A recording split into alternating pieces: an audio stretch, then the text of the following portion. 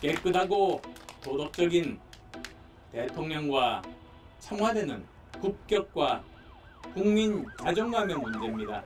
깨끗한 대통령이 일도 잘할 수밖에 없습니다.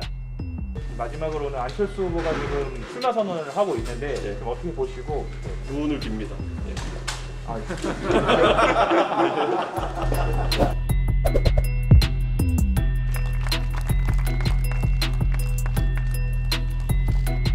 그런데 이 나라를 5년간 맡겠다고 나선 대통령 후보들은 어떻습니까?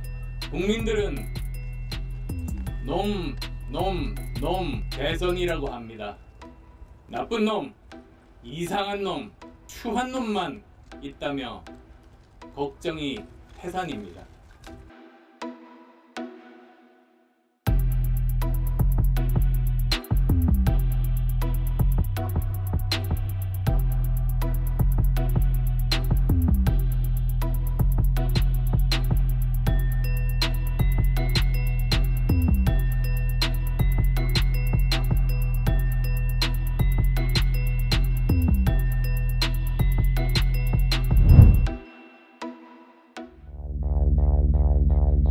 이제 국민의힘의 이준석 대표가 어, 대권 선언을 하니까 뭐 5개월 전에는 안 나온다고 했다가 뭐든지 안철수 대표가 얘기하는 거는 반대로만 알아들으면 된다. 그리고 자기 말 뒤집는 사람이다. 이랬어요.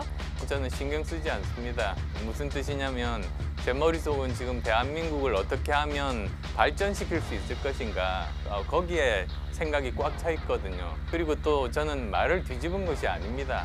제가 당선된다면 중간에 그만둬서 다시 대선 도전하는 어, 그런 일은 하지 않겠다.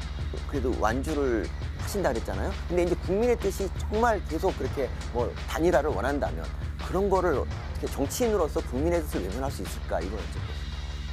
어, 저는 아마 압력을 어, 제1야당이 굉장히 많이 받을 겁니다.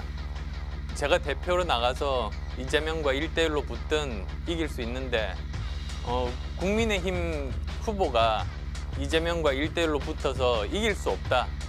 그렇게 되면 누가 압력을 받겠습니까? 이길 수 있는 사람에게 모든 것이 갈 거라고 봅니다. 그래서 오히려 저는 이번 같은 경우는 국민의힘이 압력을 받겠다. 어, 저는 그렇게 생각합니다. 근데 우리 안철수 대표님의 또 별명 중에 하나가 안초딩이에요. 예. 그 별명에 대해서 어떻게 생각하세요?